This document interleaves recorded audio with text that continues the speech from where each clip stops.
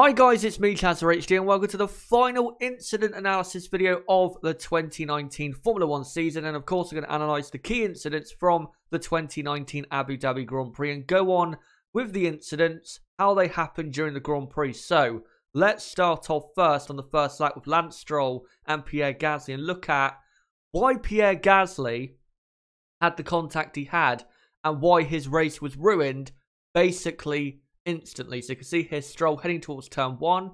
And then once we get to turn one, the reason Gasly had his accident and lost his front wing and got hit from the rear is because he locked up going into turn one, ran a bit wide, but because Perez was always going to take the racing line on the outside on the exit of turn one, unless Pierre deliberately went off track, there was nothing Pierre was going to do to avoid an accident because, as you see later on, they make contact, Perez and Gasly. And I will say, Sergio Perez, very, very lucky not to have a rear right uh, puncture because Gasly did hit him quite hard. And then Lance Stroll hit Gasly from the rear. So that's why Gasly fell off the track. And that's why Pierre Gasly, in the end, had an absolutely horrible race. And in terms of apportioning blame, I don't think you can really blame Sergio Perez because I think he had every right to take the racing line yeah, Gasly, I understand why he tried to stay on track, but maybe he could have ran a bit further off track to avoid contact with Perez. But uh, Stroll definitely has to take the majority of the blame because he slammed into Pierre Gasly at turn one uh, quite clearly. But now, let's get on to the great racing we had between Max Verstappen and Charles Leclerc for what was second place in the Grand Prix. Now, the two cars, Leclerc and Verstappen, coming up across a back marker. Charles Leclerc, you know, would have known that Max Verstappen was very fast and he would have known that he would have had to defend his position very, very hard for Max Verstappen to not get second place from himself. Now, the reason Max got second place is because simply, as you'll see right now, Charles Leclerc did not defend his position anywhere near hard enough against a driver like Max Verstappen. Because at this point, Max was always going to go for the inside if Charles Leclerc did not cover the inside line properly, which he didn't do. Charles Leclerc at this point really should be a lot further to the inside of the corner already because Max Verstappen is already in the slipstream, had a great run off the last corner because of the fresher tyres.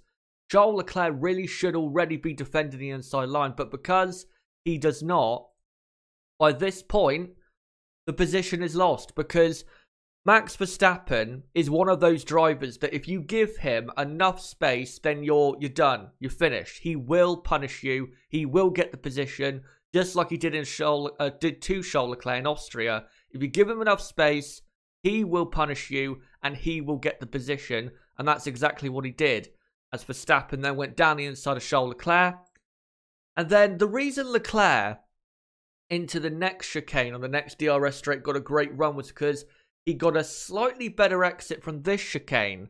And then, as I move on to the next picture, the reason Leclerc had a great run around the outside is because he deliberately took this, you know, outer line to go around the outside to try and get the position back. But because Leclerc did not have as good a tyres at this point as Max Verstappen, and Verstappen was so keen to keep the position, even though Charles Leclerc was briefly back ahead, realistically, Max Verstappen was never going to lose that position. But I have to say, again, between these two, great racing, great to see. But Charles Leclerc, for the second time this season, could have done more to keep Max Verstappen behind in a fight for position.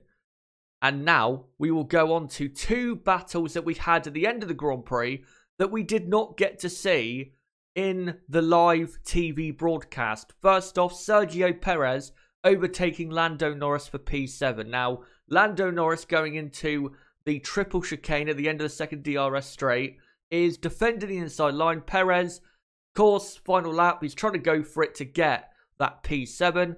And at this point, Lando is doing everything right. And at this point, even when Perez is clearly going for it around the outside, similar to how Charles Leclerc tried to. Lando is still doing everything right, but in the next frame, you'll see Lando makes a quite a critical mistake, which allows Sergio Perez to get the position. Because at this point, Lando Norris is way too far over to the left here. What he should have done, if I go back a frame, is what he should have done after covering the inside is then move straight across to where Perez ultimately went to, about here, to cover that space. But because he didn't do that and left too much space around the outside for Sergio Perez to go around the outside, that's why Perez on the fresher tyres, much fresher tyres, was able to pass Lando Norris. So definitely quite a big mistake at the end of the Grand Prix. And even Lando said that he should have done a lot better in this instance because he simply allowed Sergio Perez way too much space to get that position. But Lando, I think, at the end of the day, considering how quick Perez was at the end of the race, I think Lando, at the end of the day, still did very well to be fighting Perez this hard on the final lap. And also, we had, as I move on from that incident, we had the racing between Carlos Sainz and Nico Hulkenberg, where Carlos Sainz just about nicked a point at the end of the day, and he got P6 in the Drivers' Championship with this overtake. Now, again, we did not see this during the live broadcast because they were busy showing fireworks. I don't understand either why they would show that instead of this great piece of racing. So, again, heading towards the same chicane where Sergio Perez just past Lando Norris. Carlos Sainz is in the slipstream of Nico Hulkenberg.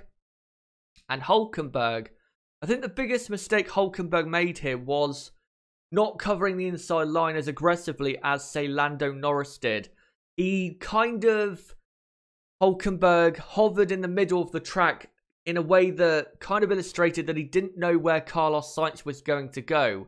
So what Carlos did simply was uh, sell him a dummy that Carlos was going to go around the outside, and then he pulled to the inside and then went down the inside of Nico Hulkenberg and locked up his inside fronted Sainz when he got to the corner. So he only just about got the move done but still, a great move by Carlos Sainz. Why did we not see this live on TV? I don't get it.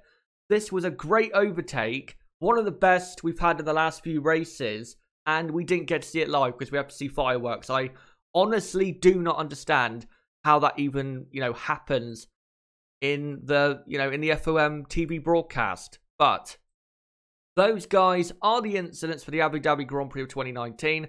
I just want to say again, Thank you guys so much for 2019. And when it comes to these videos, analysing the incidents, I want to just say thank you guys for watching these videos, supporting these videos, and you know, giving your opinions so many times on all the incidents I've analysed this season, such as the Vettel Hamilton incident in Canada, Verstappen Leclerc in Austria, uh, where else? Leclerc Hamilton in, in Italy. There's so many great uh, pieces of racing this season. So many controversial incidents that I've analysed. Uh, some I've took some flack for, but I don't really care. It's my opinion at the end of the day. But I just want to say again, thank you guys so much for coming along for these videos, interacting, and just sharing your opinion on the incidents from each Grand Prix in 2019. And I will have this series, of course, returning in 2020. And it will be if I can bring in the improvements that I want to bring into these types of videos, then they are going to be quite a bit different in 2020. Possibly, I will be using a green screen with me on camera uh, next year to better illustrate, you know, what I'm talking about. Uh, so you guys know exactly what I'm talking about when I am analysing these incidents from a Grand Prix. So hopefully, I can bring those in next year because it would make these videos much better than they already are. But guys, thanks for coming along for this video. Don't forget to comment down below what you thought of the incidents and pieces of racing from the Grand Prix.